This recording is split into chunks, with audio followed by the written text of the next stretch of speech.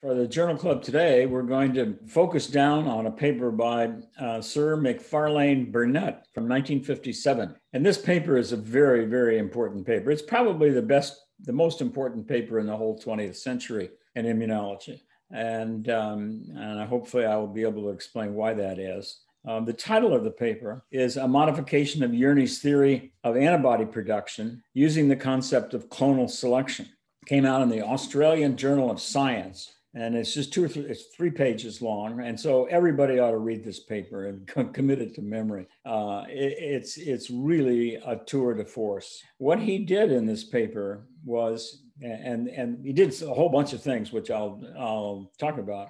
But in, in my mind, the most important thing that he did was that he gave the immune system, which up until that time had been immune reactions as, as determined by antibody formation, appearance in the, in the blood. But nobody knew where they came from, what they were, and how it all, how the, the system really worked, what the, what really what the cellular basis of this whole business was. And to me, that's that's the most important part about this paper. For the first time, it was it basically was a hypothesis paper. So it wasn't, you know, tried and true and, um, and written in stone but for the first time, there was a rational hypothesis that explained all of the all of the uh, data and all of the experience that everybody had had essentially for, for 50 years. Um, from the early part of the, of the 20th century. And so, a little bit about uh, Burnet. He was born in 1899, so right at the turn of the century. And um, as I said, I think before when we talked about Medawar, so he was Medawar was born in 1915, and so Burnet was 16 years older than Medawar, just to give you a time frame of, of, of these two guys. And he went on to medical school. And of course, the, the flu epidemic of 1918 was a huge influence on the, the whole world because 50 million people worldwide died during that epidemic. And that's just an estimate, it's probably 100 million. They didn't have such good record keeping. And we, and today, About the same today with coronavirus. But anyway, there were only about two two and a half billion people in the world in um, in 1918. So 50 million was a, about two and a half percent of the total world's population that died of that of that infection. And of course, as I've said before, nobody knew what a virus was really. I mean, sub, sub you know, substance wise all they knew was is that it was smaller than a bacteria because it would pass through filters. So it was called a, a filterable agent. So, so that's important for for um, Burnet because of the fact that he he went on to medical school and graduated in his early 20s or mid 20s and so forth. And so, uh, flu was really the, the, the plague of, of his generation. And for there on after, for the next two or three decades, just about everybody who was anybody interested in, in uh, immune responses and epidemics and, and epidemiology and, and, and infectious diseases was studying flu.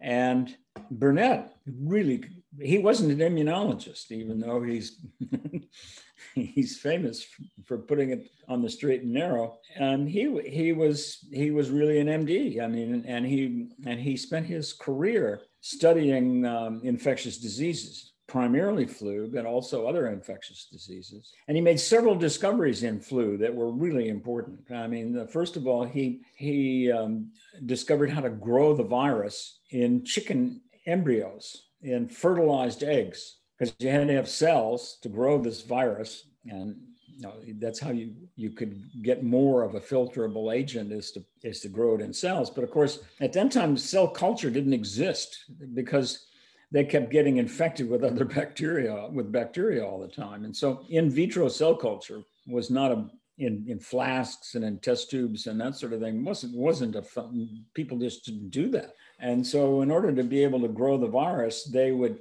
um, they would take a virus preparation maybe isolated from a from a patient or an individual and with a hypodermic with a syringe they would puncture the the egg shell squirt it into the um, into the fertile into the embryo. And they would wait for a while and then harvest the whole thing and they could get more virus out than they put in and so this is how they how they uh, grew up the virus. And so he went on from there then and and found that the virus would agglutinate red cells. It was a hemo, something about it allowed it to be a hemagglutinin. Um, and so he used that to develop a quantitative assay for the virus because you could you could titrate your viral preparation by diluting it and diluting it and diluting it and diluting it. And then you could add red blood cells to an aliquot of each of the dilutions and then look at it under the microscope and you could see the red blood cells agglutinating and then after a while, as you diluted them out,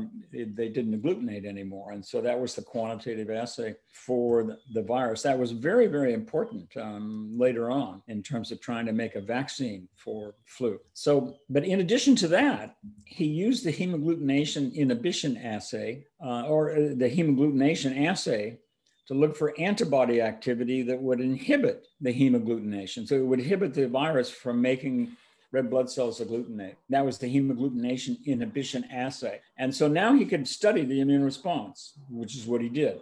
And uh, he made all kinds of very fundamental discoveries in the um, in the 30s and in the 40s and and and beyond. So things things started to get hot in in the mid 50s. And there were other people that entered into the into the um, the quest to try to find out so what are, what are these antibodies? It was the, the paper was really about antibodies and, and what was the source of these antibodies. And so that's what the paper was about. And, and, and really the, the, the, the question really was, how could there be so many different kinds of antibodies in the plasma of, of an individual or in the blood? And yet each, yet there was tremendous specificity. So there was di- broad diversity of antibody reactivity in the face of tremendous specificity. And the question was, how can that be? How can you account for that? And that was the that was the sort of the intellectual puzzle that these guys started to work on. So in the introduction of this paper, um, Burnet goes into he said at this point in time in, in the in the mid 50s there have been three theories that have been uh, proposed to account for antibody formation and this question of specificity in, in the face of broad diversity. Um, the first he talks about was from a person by the name of David Talmage, who was from the University of Colorado. And I, I, I knew David Talmage and met him and talked to him. And so now we're starting to get into my generation of people um, in, this whole business. Um, Talmage proposed in 1957 as well in, a, in another paper what, what, what came to be called the direct template uh, theory. And what he proposed was is that antigens served as the template against which the pattern of the antibody to react to the um, so that was called the direct template theory and it was a sort of like the the the good old Italian uh, or the hand in an Italian glove, and so the glove sort of fits around the hand, and really, you know, the the um, kid goat gloves that felt so feel so good. So that was the direct the template theory, direct template, and then um, Burnet himself, just a year earlier, had had postulated that there, uh, what, what came to be called as the indirect template theory. And he postulated that the, it, it, wasn't just a fluid kind of thing that happened when your antigen was added to the, to the antibody molecules. And of course, at this time, you had to remember they didn't know what proteins were. They didn't know what globulins were, although they talked about globulins, but they didn't really know what they were. And so it was a little bit hard to conceptualize this whole thing he said that what Burnet thought was is uh, was is that there there must it must be um, programmed in the genes of the individual. The the, the antibody specificity the antibody um, shape to allow it to bind to an antigen had to have been had to come it couldn't be just exist out there in the fluid phase of the blood.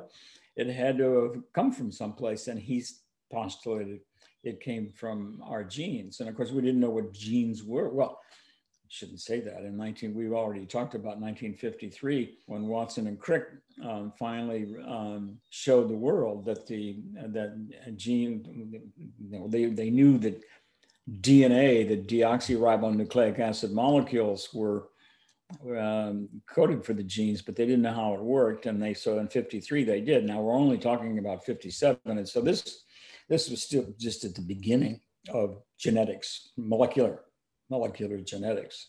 Well, then there was another fellow, and that was Niels Jerne, and he's an interesting guy, and we'll we'll get into him uh, uh, again later. Um, but Jerne was a Dane, and he was a physicist by training and grew up and so forth and so on. But I think he felt that the competition was too great in physics. And so he left physics and went into biology and found himself working on immunology. And he was one of the major influences in the thinking of how the immune system was regulated and organized. And so he came up with a theory that he called the natural selection theory in 1955. So we got Talmage, we got Burnet, we've got we got Niels Jerne. And the natural selection theory was that um, what he thought what he thought happened was that antigens and antibodies in the plasma combined and then were were phagocytosed by phagocytic cells, macrophages, and so forth. And then the antigen was digested, but the antibody that was brought into the phagocytic cells acted as a template for copies to be made, sort of like a Xerox machine, for more antibodies of exactly the same variety. So he thought that the phagocytic cells were the source of antibodies, and nobody really had mentioned a great deal about lymphocytes. And, and you know, if you look back through the, uh, I've always uh, said, if you look back through the literature and, and look at the textbooks, as, as um, in 1958, they said the textbooks would say that lymphocytes were sort of these sort of boring cells. They didn't have much cytoplasm.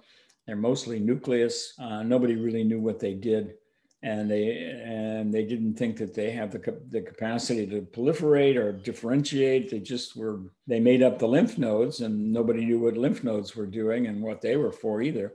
And, and so Jerne missed the mark there by by his theory of, of natural selection uh, of the antigen selecting for the antibody and then taking it to a cell so that it would make more copies. But that was critical for Burnet um, because Burnet said, you know, the, of these three theories, uh, nobody really has accounted for the for uh, what Medawar had shown back in, in 1953 in terms of the tolerance phenomenon. So that if you inject an embryo with an antigen, um, then that that embryo grows up thinking that that's part of himself. It was a self antigen. And, and that led to tolerance then on the part of that particular individual. You could graft skin and do all kinds of things. And so Jerne or Burnet said, this is really important. You gotta, you have to explain how this tolerance business works. And the second problem that he had with, with all of the different theories that had been proposed at that stage of the game was is that was is that other people had shown that antibodies would continue to be produced in an animal long after the antigen had disappeared and been cleared. So it didn't seem to him possible that the antigen antibody complexes and so forth, these other things that both Talmage and Jerne had proposed were, were, were possible. Um, but he liked the whole idea of Darwinian selection, uh, natural selection in this whole process. What he did was, and he states it bold up right up front, he, he extended Jerne's natural selection theory to clones of cells, which he said in this, and then he, he identified the cells. He said the, the lymphocytes are the cells that are really important and I and they those cells themselves that are selected produce the antibody, and their progeny, the progeny of those cells, can go on to continue to make this kind of antibody too. So that's the first thing. So he he, firmly said that the lymphocytes were the were the critical guys involved in this whole. And now and then secondarily, he said that the antibodies that these cells go on to produce are originally on the surface of those cells. Well, nobody talked about that before. And it was a totally new concept that, that the antibody was on the surface of the cell. So that then if you added antigen, it would bind onto the antibody on the surface of the cell. And that would be the trigger to cause the cell to make huge amounts of antibody. That was slick. And he was right. the thing about this paper that I like so much is, is that he was right about just about everything that he proposed. and that then went on to be proven over the next 50 years of immunology. The third thing that he said was that when the antigen binds to the surface of the lymphocyte, to the antibody on the surface of the lymphocyte, is that that triggers the cell to undergo a massive proliferation. And that really is the selection of the clone. Because if you look in the dictionary about what a clone is, it says it says that a clone is the asexual progeny of an individual cell. So you don't have a, a sperm and an egg forming um, the you know the, the, the gamete and, and, so forth. You have you have a, a single cell making more of itself, identical twins, just more and more and more and more and more of those guys. And proliferation then becomes absolutely fundamental to the immune response.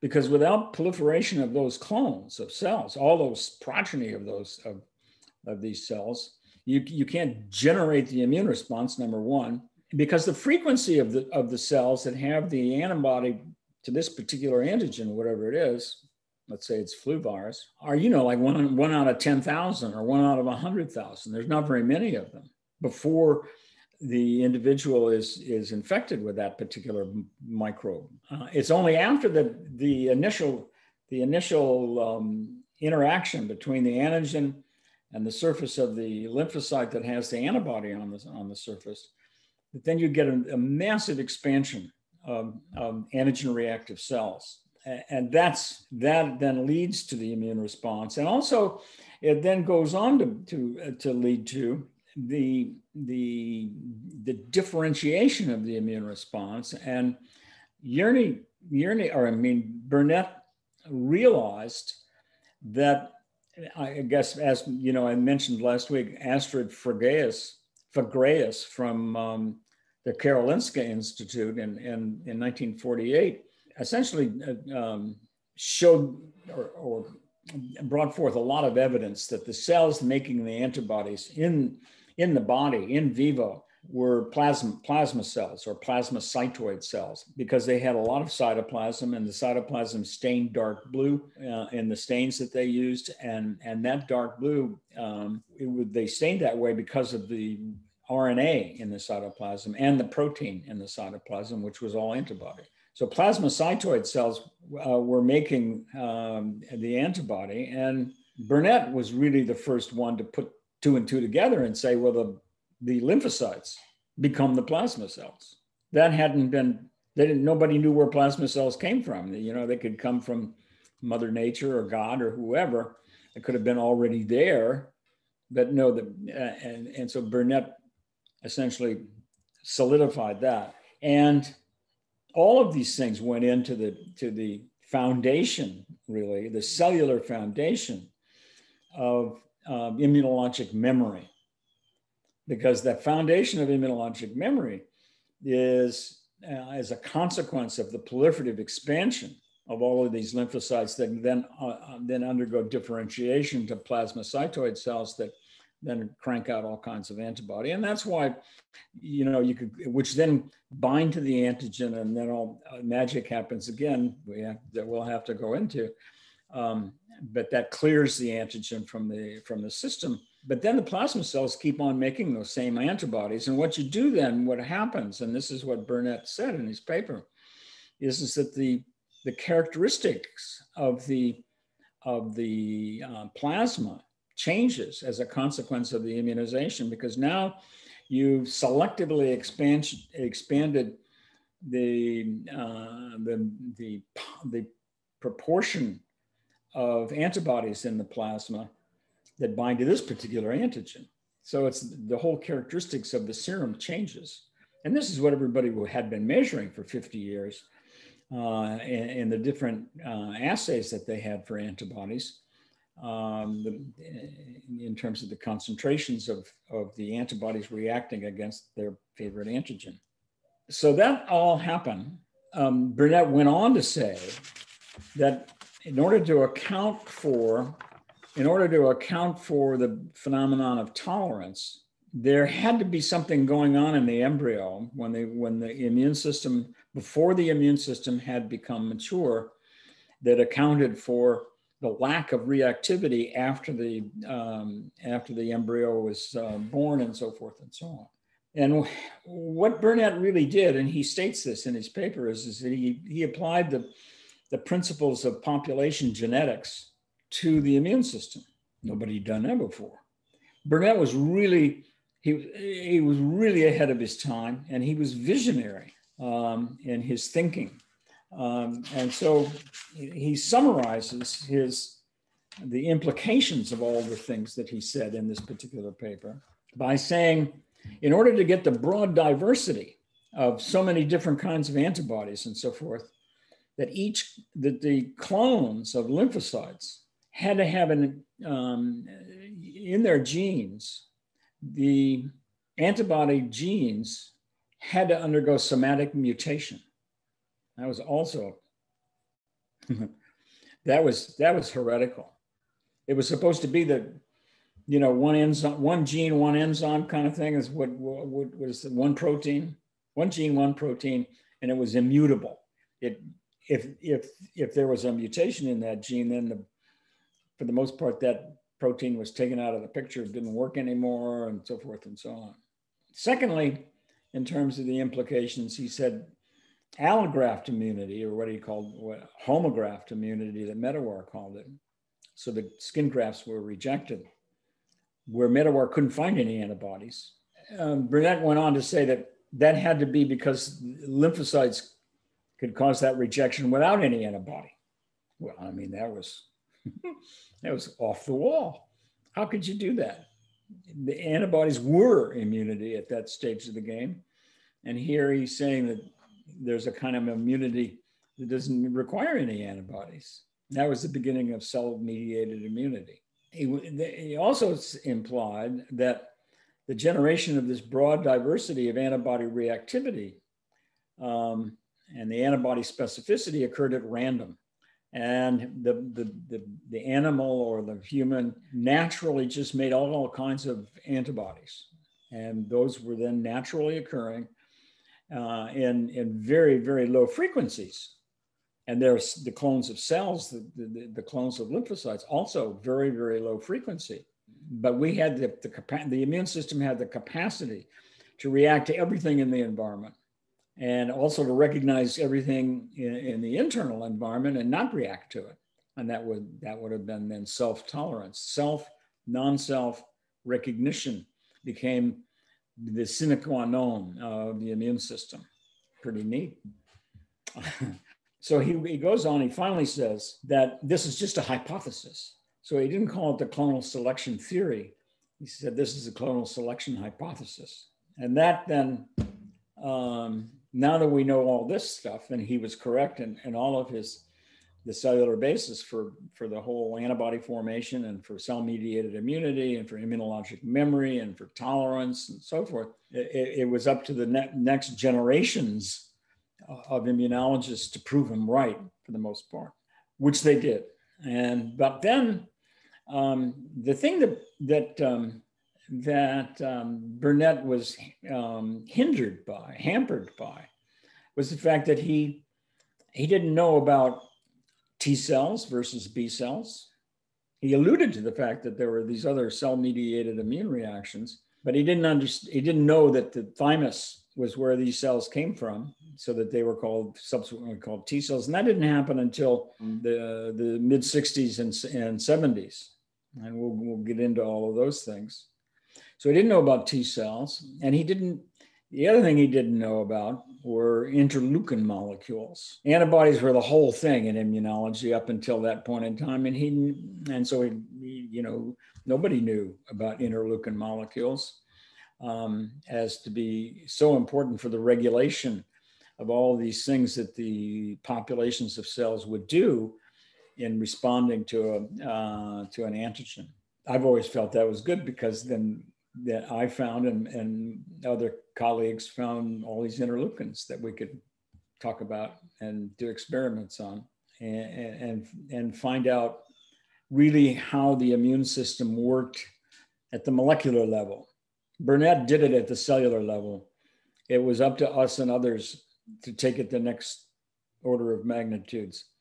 Down to the um, molecular level so that we could really understand how the immune system works on the one hand, and then also how to manipulate it therapeutically to either dampen it or enhance it um, and treat immunological uh, disorders and diseases and, and, things like cancer and infectious diseases and so forth, um, allergies and autoimmunity and, uh, and that sort of thing, which is what we'll get into uh, next. Um, the interesting thing about Burnet is, is that he didn't stop with just this two or three pages. This he was planting his his lance in the ground as to you know i did this kind of thing, and he had these Talmage and Jerne were breathing down his neck, and and he was trying to distinguish himself from them, um, which he did. And the thing is, the he, he needed he needed to to um, to know more information, and which is the which is the the rallying cry of science in and of itself. You got to have you have to do more experiments. So this paper was was greeted as a as a, a huge revelation by by the field, and with only three within only three years, Medawar and Burnet went on to win the Nobel Prize um, for the Nobel Prize was specifically given for tolerance and the phenomenon of tolerance, to which Medawar had, had um, provided the experimental data and for which Burnet had, had um, proposed the theoretical foundation for the whole thing. And so if you go on the Nobel Prize website, nobelprize.org, and then look for the prize in 1960, and read through the biographies of both Medawar as well as uh, Burnet, and then read through their Nobel lecture. Uh, it's very interesting in terms of what they said at, at, that particular point in time in 1960. And of course, the other thing that was unknown when this paper came out in, in 50, uh, 57 was the genetic code had not been cracked yet. They knew about the structure of, of DNA, finally, the double helix and so forth, but they didn't know how how the genetic code worked, how the information got from DNA to RNA to protein. And, and so the genetic code wasn't really be, began to be understood until 1961. Uh, and so that's the sort of the where we're working here. And I, the whole 60s and then 70s and, and then beyond, molecular bio, molecular genetics, molecular biology was really where it was at in uh, in in basic fundamental science. Everybody wanted to be a gene jockey, except me. I didn't want to be a gene jockey, so I'll stop there. So if you've enjoyed this video, um, please like, subscribe, and sign up for my newsletter, uh, where I'm serializing my new book, which is called the, the Quest for New Knowledge. You'll find a sign up link below. Hey, thanks again. It's been great.